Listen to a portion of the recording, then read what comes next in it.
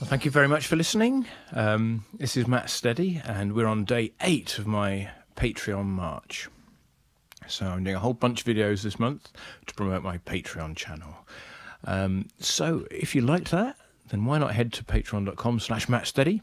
There's uh, absolutely loads of stuff on there, and I'd love to see you in there. I'm trying to get a few more subscribers this month, and I'm hoping that you'll be my patron of the day. Thank you very much for listening. Cheers, bye.